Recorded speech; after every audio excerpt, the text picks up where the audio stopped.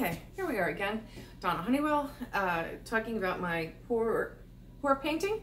Um, as I'm calling it, my PD pour painting for peritoneal dialysis. As you can see, eventually we're going to end up with paint in these bags. These had paint, they need to be refilled, and these are empties, which I'm going to fill up right now.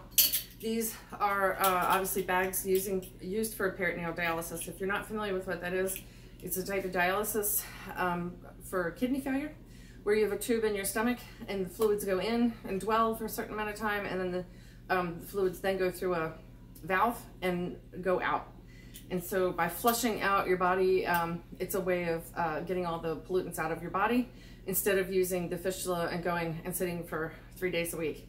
This um, peritoneal dialysis is usually done seven nights a week, every night of the week, so it's huge. Uh, and again, I'm making these videos as a way to raise awareness for how much for how great peritoneal dialysis is, but also for um, how much waste is created. So this is my way of reusing some of these things to do something fun. Uh, so I'm using Artist Loft paint. Um, I think this is a medium body paint. Um, you can use the really cheap, like 99 cent little bottles of craft paint, but uh, but don't use quite, don't cut them down so much because the paint particles um, can only be stretched so far apart. They're just, they just don't, aren't, they don't have that much pigment in them. So in this case, they have a lot more pigment in them and you'll see, I'm first gonna mix this a little bit with water to stir it up a little bit and then I'm gonna pour it, uh, one to one cup of this to two cups of this, which is Floetrol. It's a paint additive. Um, it helps it pour and it really helps um, spread the paint out, which will help give us cells. There's a lot of chemistry involved in this. So I'm gonna mix this juice all up and then put it in one of these bags to show you how it's done. So now I need one cup of paint. Actually, it's a half cup of paint will probably do it. Let's do a half cup.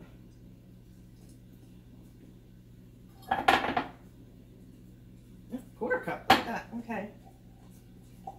Quarter cup of paint. Sorry about that. It's been a few weeks since I've done this. So a quarter cup of paint, and then I'm gonna add some Floetrol and some water and the Floetrol sometimes has big floaters in it, and I want to make sure, particularly since it's going through such skinny tubing, that I um, run this through a screen to make sure that I catch any big floaters. I'm going to use the screen again and again and again, my little tea strainer. okay, so this, uh, I just need to bring it up to two cups but it is much easier to mix paint uh, when you're at a lower volume. Um, think about mixing up a cake mix. If you throw all the liquids in there at once, it's really difficult to get the lumps out. If you start in the beginning and add a little bit of liquid, you can get things thinner. And um, this paint can be a real bear to mix. Um, the yellow actually, different pigments also can be stretched further than others, meaning you can add more Floetrol than others. Um, this yellow can be seriously stretched. I have found that it uh, is pervasive. It, it, just has so much pigment in it. Um, but I'm going to stick to my recipe so I know what I've done. Now I've got that all mixed up. That's up to one cup. And then I'm going to add another cup of Floetrol. So remember, it was one quarter cup paint of this type. If you go to an even heavier body, you can use less. And I'm going to bring it up to a full volume of two cups uh, Floetrol with the Floetrol. So trying to do this so you can see it. And it's actually a little bit over, but for what I'm doing, it's not a big deal. It's not an exact science, and as I said, particularly with yellow, I don't have a big problem with it. Um, certain colors, like browns and pinks, um, don't have a lot of pigment in them, and I find they uh, work the other way, particularly pink. Pink just gets swallowed. Um, so depending on your color, and there are charts online, if you go uh, to YouTube, there are other artists that have posted all kinds of charts about many, many different formulas for doing this. Um, I'm using Floetrol because frankly it's cheap. It's about $14 for this big bottle.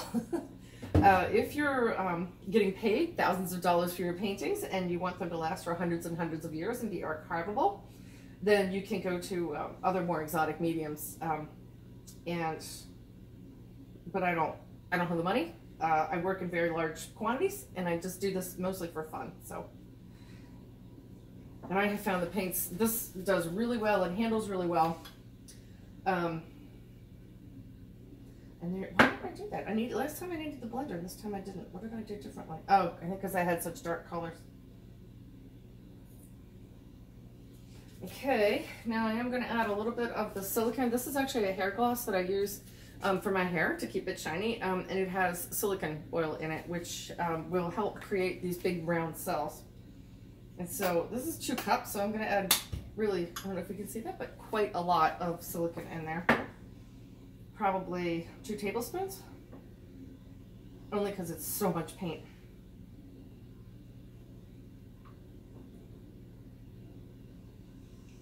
And honestly, I can see from this paint that I probably could thin this, again, a ton more. But we're going to try this for today because it's still a very intense color. So now I'm going to take this, make sure all my paint is stirred. I swear, I used more of this last time. It was one cup to two cups. I don't know. Okay, well, we're going to do this for today. Um, Get me some nice bright neon yellow. And remember, I know neon yellow may not be everyone's favorite color, but when it mixes in with all the other colors, and I have a lot of uh, beautiful blues and greens, it will not stay yellow. It will mix and create yet different colors altogether. Um, and I just find that the neons do really well. They don't come out looking uh, as neon as you would think. It actually comes out looking at like a nice light green, like you'd find in the springtime in a garden. So see, I'm gonna pour this into the hole. I used, remember I, I had to cut that hole in the side to get all the fluids out because these bags have been used. And there we go. You could actually put um, a clip on here as well. And if you knew you were to be storing these for a long time, that would be a great idea. I don't because I honestly find the air pressure pushing down on it really helps the paint flow. And I'm more concerned about getting more paint out faster because I have no patience. so, as we have already determined. uh, I just want to clean all this up. And then go to the next color. I think last time I did double batches, but that's a lot of paint. So as you can see, because I have the clip on here, there's a big air gap in here. I'll deal with that when I get in the other room. But there we go, we've got that color. So my neon green. Uh, so there you go. That's how you put the paint in bags and um, I'll let you go while I fill up the rest of my bags.